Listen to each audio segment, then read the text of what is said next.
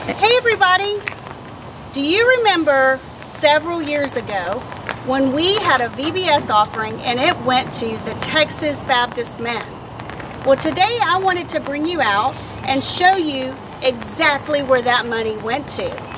So I want to introduce you to Mr. Lloyd Martin who's going to tell us a little bit about the shower trailer that they are able to take out on a disaster relief mission. Well, first, first of all, the first year we uh, remodeled the washer and dryer in it because we only had stand up and we didn't have the capacity. So we remodeled the whole washer and dryer part where uh, we got three wash machines now and four dryers in it. Awesome. Hey, you think we could go take a look at that?